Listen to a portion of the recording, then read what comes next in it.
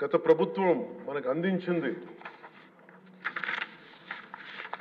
కీలకమైన పోలవరాన్ని పూర్తి చేయకపోవటం సకాలంలో పోలీసులకి పోలీసులకు కానీ మిగతా ఉద్యోగులకు కానీ జీతభత్యాలు ఇవ్వలేకపోవటం అన్ని డిపార్ట్మెంట్స్లో నిధులు మళ్ళింపు కనీస రోడ్లు కానీ బ్రిడ్జెస్ కానీ మౌలిక సదుపాయాలు లేకుండా చేయటం రివర్స్ టెండరింగ్ అని కానీ వ్యవస్థలను నిర్వీర్యం చేయటం సహజ వనరుల దోపిడీ ఎర్రచందనం దోపిడీ ఇక ఋషికొండ ఇలాంటి ఎర్రమట్టి వైజాగ్లో ఎర్రమట్టి దిబ్బల్ని అడ్డగోలుగా నాశనం చేసేయటం మద్యం ద్వారా కూర్చోబెట్టి అరాచకాలు చేయటం పెట్టుబడులు వద్దామని ఎవరైనా వస్తుంటే వాళ్ళు భయపెట్టేసి రివర్స్ సెంటరింగ్ అని చెప్పి వారిని పారిపోయేలా చేయటం పారిశ్రామికవేత్తలని.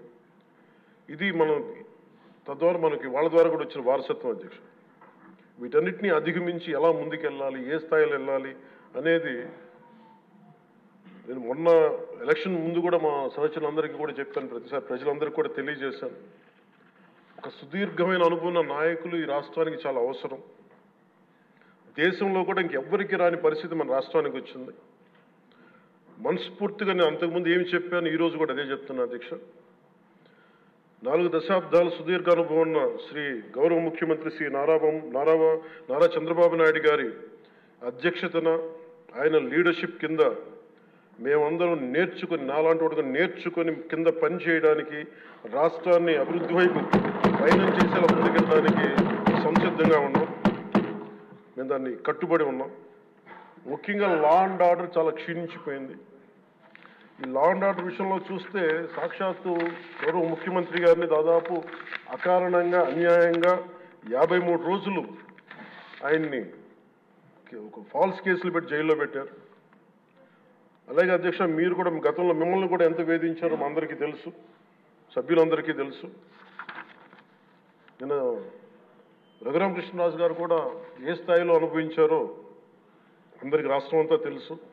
కానీ చాలా పెద్ద మనసుతోటి ఆయన నేను వస్తే చాలా మనసు విప్పి నవ్వుతూ మాట్లాడడం చాలా ఆనందం కలిగించింది.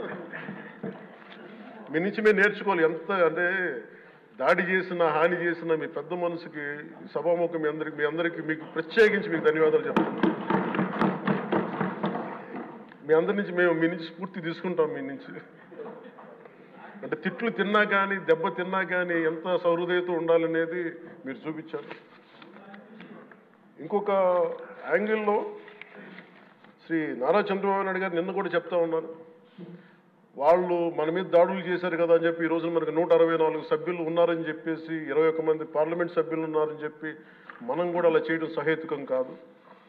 చాలా మనం యాజ్ పర్ సిస్టమే వెళ్ళాలి. నిన్న కూడా చాలామంది సభ్యులు మా మీద దాడులు జరుగుతూ ఉన్నాయి మా మీద ఇలా బెదిరిస్తున్నారు. ఈ రోజుకి ఓడిపోయి కూడా ఇంకా మన కూటమి సభ్యులందరి మీద బెదిరిస్తున్నారు అని అంటే చంద్రబాబు నాయుడు గారు ఒకటే చెప్పాను నేను. మనం అలాంటి వాటికి నేను విరుద్ధం నేను.